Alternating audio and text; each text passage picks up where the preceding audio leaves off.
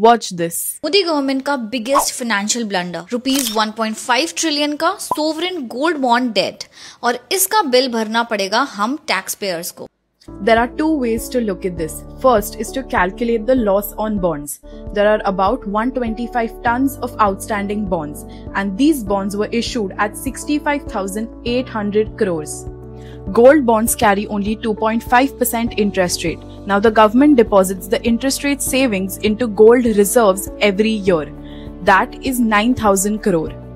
So if the government were to redeem all bonds at current gold prices, they would have to pay for 125 tons 1 lakh 57,000 crores minus the money raised and the interest rate savings.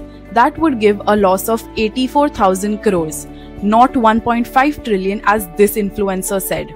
The other way to look at it is as government started issuing gold bonds, RBI started buying physical gold.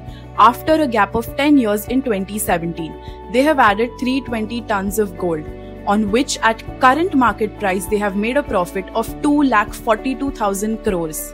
That means the Indian state has made a profit of 1.58 trillion rupees on their additional gold exposure since they introduced gold bonds. To conclude, on the gold bonds, the Indian state stands to lose 84,000 crores. On the additional gold bought, they stand to make a profit of 2,42,000 crores.